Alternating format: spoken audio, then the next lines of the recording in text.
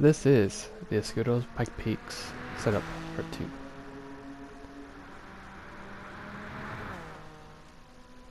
Very simple setup. First you need to install the original rims and what you see on your screen, leave it like it is. Here's the setup. This is not my setup, this is Untied, his channel setup that he used.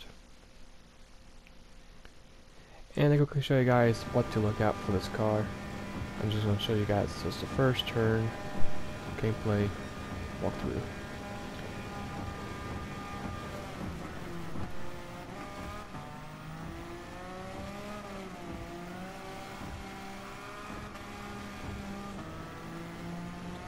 Hope this setup helps in your Tokyo grinds, and I'll see you later.